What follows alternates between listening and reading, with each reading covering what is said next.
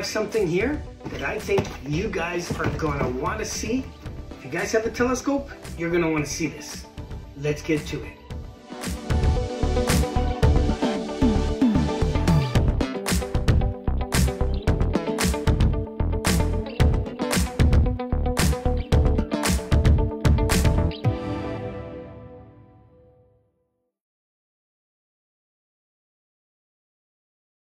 Welcome back to the Joe Jaguar Show, your best friend in astronomy, science, and telescopes.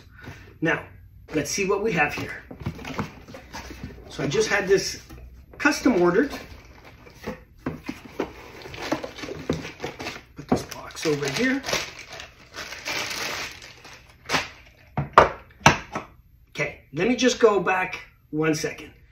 You guys know I've done two videos now. The last two was about could I alter the Takahashi focuser because on that model is just a single speed. Some people like those original items from whatever company and a lot of Takahashi people are like that. They like the original Takahashi focusers, but I just like the dual speed. Okay, I'm sure a lot of you guys, and I know some of you guys are actually thinking about something like this right now. So, those last two videos was, you know, I altered it and then I tested it. It did work, but it, it didn't always reach focus with an eyepiece, okay? Unless I put the bottom of the uh, Barlow lens, inch and a quarter eyepiece, then it worked. But remember, then I'm multiplying 1.5 times. So for higher power, can work. For lower power, not sure it's gonna work. Recapping, I don't wanna spend another $700 like I did uh, it was more than 700 $713 I believe on a Moonlight dual speed focuser for that 102 TSA Takahashi.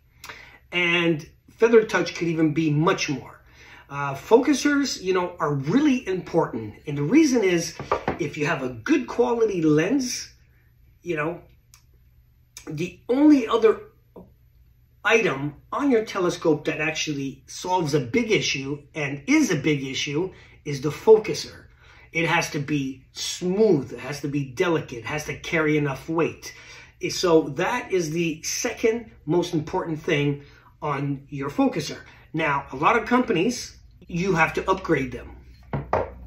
And this is where it can cost as much as a whole telescope depending what you want. So I didn't want to go to Moonlight. Well, Moonlight doesn't even sell a manual version anymore. So the electronic version, it would be more. It'd probably be closer to $900, uh, if not even more. Feather Touch is also, I love that brand too, but it's very expensive. It can go up to like $1,500 depending on which model, which make, how um, much focus it does, and for what telescope and adapter plate. Uh, that's Canadian. So they are very expensive. So I found, and I know you guys are going to like this, is the Antares brand dual speed focuser. Now I'll put some pictures up so you can see. There's many uh, different styles of these as well. Um, there's some for refractors, reflectors, and depending what size refractor you have, and, and so they there's so, a lot of different models. Now, I called Antares, and you guys probably know that as a Canadian company um, made out of uh, BC, and the same like every other make, the Meade Celestron, Orion, Skywatcher, Explorer Scientific. They don't make their own focusers and things like that. They get them from a company that makes them and they alter them to their specifications or their telescopes and then they sell it. So Glenn Spears, that's where the um, eyepieces come from and that's where Antares comes from. So same thing, he gets, his is the Antares brand. He gets them made for him um, and his focusers. Now, if you guys have regular focusers, and what I mean by regular, if you have a telescope that's made by Meade and Explorer Scientific, they make a model specifically for that. And it's similar to this one, where it has a lip and it goes over the tube, okay? Now, there's the other ones that just have the three holes like a normal focuser uh, by Orion, Skywatcher, and Celestron. Those are a different style of focuser. It goes inside the tube of the telescope. The Explorer Scientific and Meade goes over the tube, okay? If you guys have any of those name brands, it is very easy. They make specific ones. You don't need a special adapter plate. You don't need anything. You just pop out, you unscrew it. Uh, usually it's just three screws at 120 degrees apart. You just unscrew it, put the new one on, screw it, you're done. Now, for some model names like the Takahashi, they use a thread. So you need a custom-made plate for it.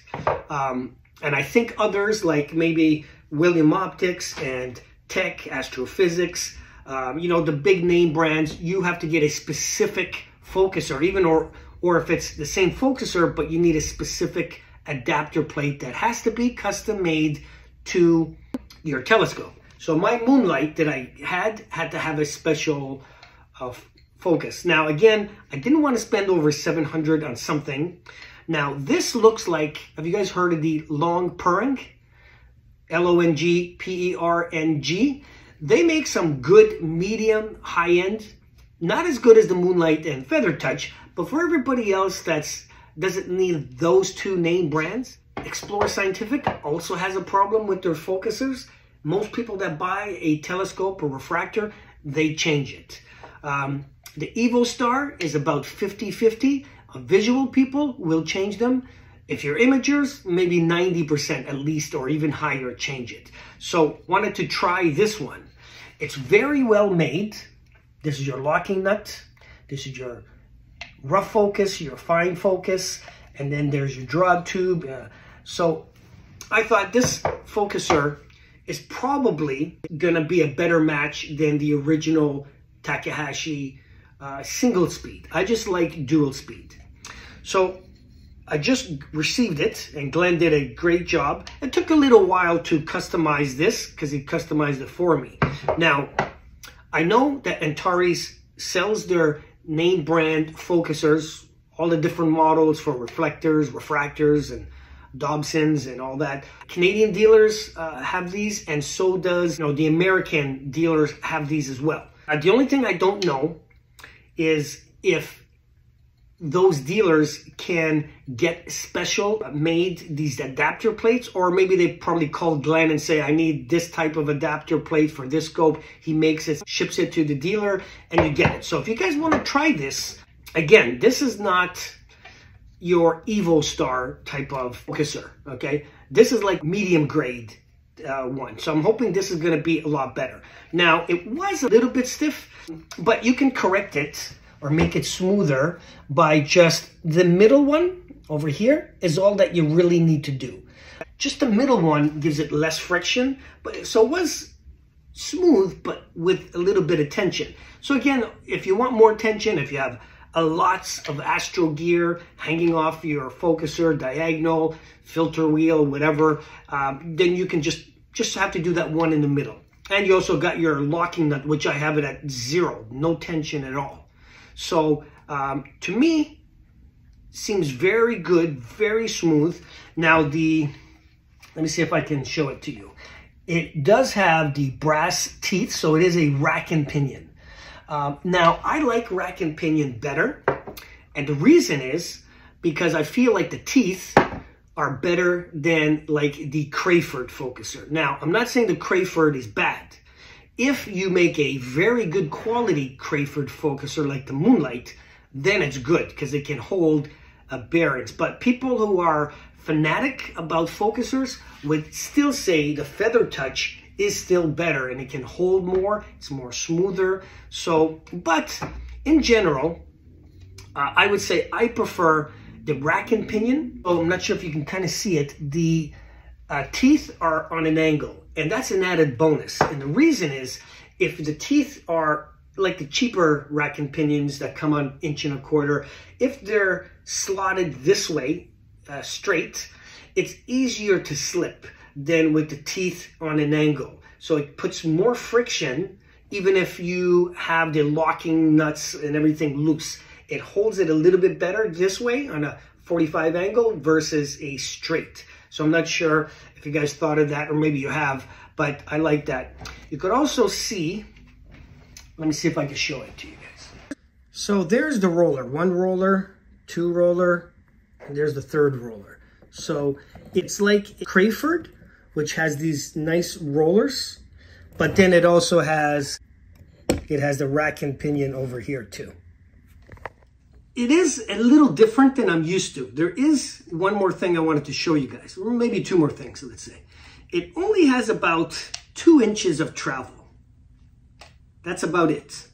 But I think the reason why, but this screw here, you can,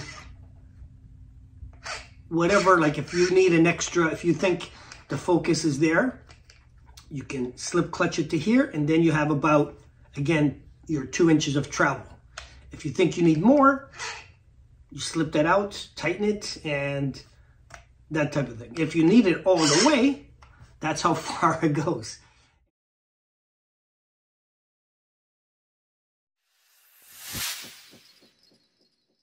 And then you can have your two inches of travel that way. You know, so it's a little different. Most telescopes will come fixed, meaning that it's going to have two inches of travel if that's the version you pick. There's three inches of travel. I think the most I've seen is about five inches of travel, which is a lot. Um, but this one kind of gives you the slip clutch. You choose whatever you think you need. Tighten it down, and then you got your two inches of travel up and down, or back and forth, technically, right? So that's it. Now, I can't really say it feels good. It looks good. Um, that slip clutch I'm not used to. I, I don't know if it, if it works in the field. Uh, I don't want to say, and until I test it, these are coming in at about half the price, roughly. I can't say for sure because it depends on which model you're, you're buying with the reflector. Of course, if you're having this like me, I had to get this special plate for the Takahashi. Of course, that adds a little bit more to it. So it depends on which model and what kind of scope you have and maybe what kind of focus you want uh, or travel focus you want. But I think still it's going to come about half what I paid for uh, the Moonlight, which is a big savings. Now, this does not feel like an EvoStar type of focus, and it's not like Explore Scientific focus. This is a, a good focuser. Now, for most people, I would say 80% or even more, this could be all that you need. So if you're looking for a good focuser at a good price, contact Glenn of Sky Instruments, who makes Antares, and he can sell you a focuser. He has dealers in all over Canada, US. I don't really recall if there's any in Europe or anything like that over the pond for uh, my customers in the UK, Netherlands, Ireland, and all those other countries, Spain, Germany, I think. But anyway, wherever you are, maybe, uh, but I'm sure where you are, there is a uh, version of these that, you know, will suit you. I've read lots of the forums where people don't want to pay, you know, $700, $1,000 more for a focuser. You know, they just want a good focuser. So if you have to replace yours, if it's not uh, uh, really good, or if yours only come with the single speed, or if yours comes with those older rack and pinion, like those achromats that just have those, you know, the two inch rack and pinion. It's not that great, and you want to upgrade to something good. Being, again, this is a Celestron Skywatcher Orion brand. You just have to undo the three screws, and they make one specifically for that. Now, I've tried some Crayford, lower quality, the, the entry level dual speed, you know, and those you'll pay Canadian again, uh, like 230 bucks, 250 bucks with tax. And they kind of are not great at all. You know, put a two inch diagonal, two inch eyepiece and boom, those ones. Uh, I've had problems with those. So, you know, maybe you pay an extra hundred dollars for something like this. It's better quality, it's better made, it's machined. Uh, you know, and you're just to be way happier and it's to carry the load. So I have to test it. Now, On the next video, which, which I'm sorry guys, is only for the members video, I'm to install this on the Takahashi. We'll look at the original focuser, we'll look at this one, and then I'll actually test it in the daytime, in the nighttime, and I'll give you my final words. So again, that's it. So if you guys want to see that video, why aren't you guys subscribed to the members video, the Patreon? It's only 99 cents once a month. I make a video once a month specifically for you guys that's not on the regular part of the channel. And I put your name in this description. So why not now? Do it now. Anyway, guys, like, comment, subscribe. I'll see you on the next video. If you know anybody getting in the hobby, share my link. If you're on the forums and maybe somebody asked about something like this, maybe you can share my video with them and asked if they considered going to something like this. Okay, regardless if they have like this telescope, the old rack and pinion, and just buying a bottom quality dual speed Crayford that's probably going to slip. Uh, why not spend maybe a hundred dollars more and you're getting a good quality focuser? And then that's that's it. Why not you? Why not me? And I'll see you guys with the conclusion. If I like this guy and does it work well on the Takahashi, on the members. Hope to see you guys there.